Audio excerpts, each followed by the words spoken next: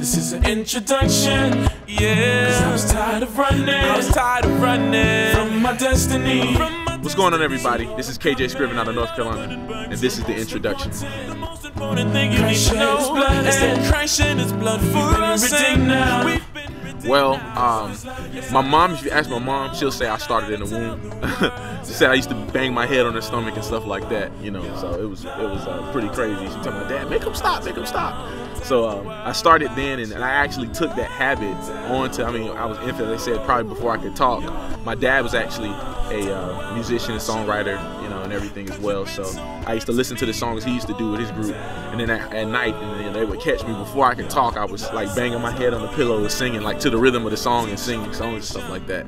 So I started like that. I come from a, um, a very musical family, a musically inclined family.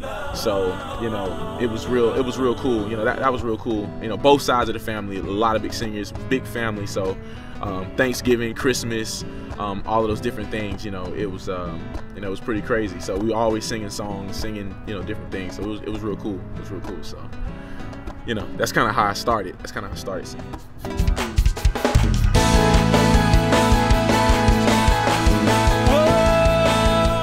Man, I mean, when somebody listens to my music, you know, I, I want them to, when they walk away from everything, I, I want them to feel, um, you know, rejuvenated. I want them to feel, uh, just like just like I said, you know, with the with with the gospel, with, with with good news. I want them to walk away as if they got some good, as if they just got some good news, like you know, um, like they have a hope, they have a future, you know. Um, you know that they understand it doesn't really matter what you did you know from a spiritual standpoint it doesn't matter what you did where you've been you know um, there's a blood you know there's a there's there's someone who died for you there's someone who loves you enough that he, he would give his life for you um, and you know and, and, the, and the word says you know you know what greater love you know can a, can a man have than, to get to, than to give his life for a friend you know so you know uh, I, I would say that and then also just you know just from an overall standpoint i think for me, I want other people to understand that you know whatever you put your mind to to do, you know you you can you can do it. You know if you got a purpose and a passion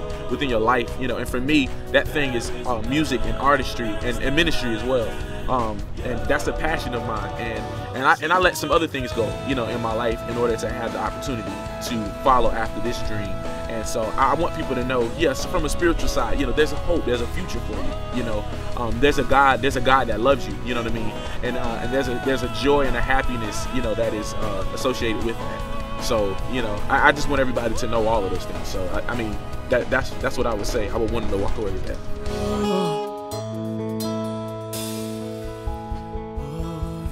Man, I would say was I mean whatever God wants me to do, man. Um, uh, but you know, honestly, you know, like I said, I just, you know, of course, we just dropped the, you know, the EP, you know, like at the end of last year, you know, uh, the introduction. Um, that's been getting great feedback, and to the point where people want more music. So, you know, um, of course, I'm of course I'm working on a on, on a full full length record on my first full length album. And uh, so I just hopefully, you know, I'll be granted, you know, I've been granted so many opportunities to go to so many different places, beautiful places to uh, to minister and um, things of that nature. So I just want to continue doing that, continue spreading that good news, continue spreading that gospel, and um, you know, and hopefully we'll get this uh, this this full record out, you know, soon, and um, hopefully you know we can just take it to. I just want to grow in every facet. I want to grow in every facet of, of ministry. So hopefully, you know, sometime here in 2011, man, we can we can come out with something that's just like absolutely game changing, absolutely, you know, just uh, just shaking the foundation of what's you know what's already been there. So that's what I would say, man.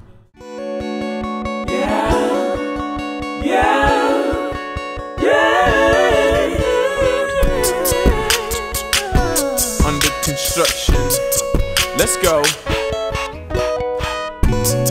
See, I've been going through some changes.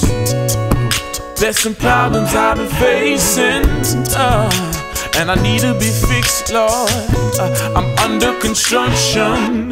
Yeah broken by the burdens that I bear. I'm damaged beyond my own repair, and only you can fix it, Lord.